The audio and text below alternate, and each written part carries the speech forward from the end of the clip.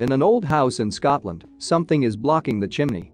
So, reaching inside the flue, a man pulls out what looks like a crumpled ball of rags. He almost throws them away as well, but something stops him at the last minute. Could this apparent piece of trash be someone else's treasure? When renovators peered inside an old chimney, they discovered priceless 17th century relic. Here's how the story unraveled. The man was renovating a house in Aberdeen, a city in the northeast of Scotland, when he made the startling discovery. Yes, while working on the old chimney, he encountered what appeared to be a ball of old fabric. Judging by the shape of the object, it seemed as if a previous owner had stuffed it up the chimney, possibly to stop a cold wind from blowing through into the house below. Now, however, it was difficult to tell what the item's original purpose may have been. Unable to identify it, the man who discovered the object considered tossing it into the trash. Happily, though, he had a change of heart and instead decided that his local museum might be interested. Eventually, the object found its way to the National Library of Scotland in Edinburgh. Rolled up in a polythene bag, it certainly didn't look like much when it arrived. However, researchers soon realized that they had uncovered an incredible find. In fact, conservationists at the library quickly determined that this unassuming bundle of rags was actually a map, one dating as far back as the late 17th century. What's more, they believed that it would once have been a great status symbol for its owner. Back in the 17th century, maps were seen as enviable possessions and a sign of great wealth.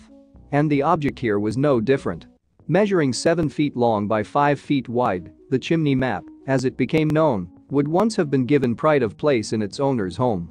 Apparently, it was produced in London, England, by a mapmaker named George Wilde. However, Wilde was known for copying maps initially drafted by others, and the origins of the chimney map are actually thought to have lain in Amsterdam in the Netherlands.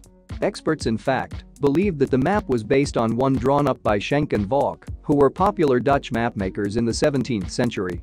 Formed from eight separate sheets of paper and designed to be hung on a wall, it would have required a great deal of space to be properly displayed. In order to make the map his own, moreover, Wilde added illustrations of famous people and places around the edges. And, incredibly, experts at the library were able to painstakingly restore these details and provide a fascinating insight into life more than 300 years ago.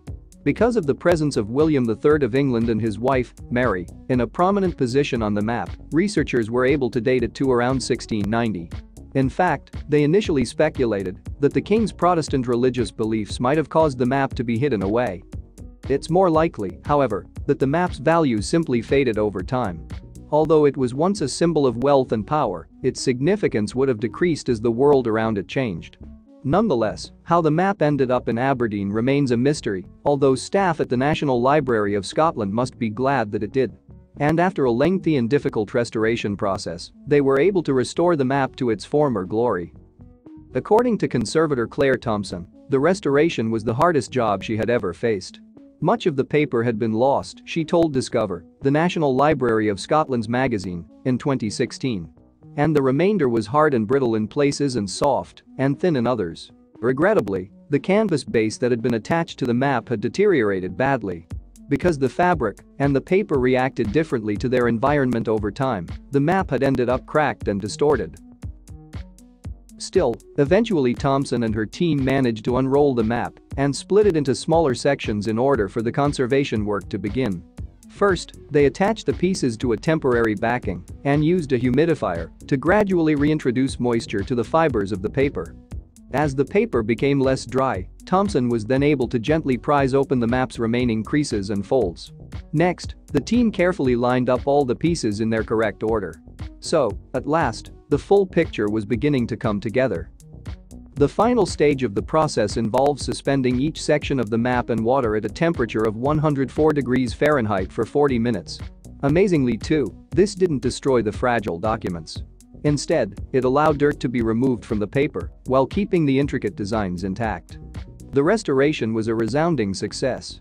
What had previously looked fit for the bin was revealed to be a beautiful and detailed work of art, featuring everything from scenes of exploration and great sea battles to far-off regions such as South America. Today, the map takes pride of place once more, just as it would have done three centuries earlier. This time, though, it is on display in the maps reading room of the National Library of Scotland, making it the pride of one of the largest cartographic collections in the world.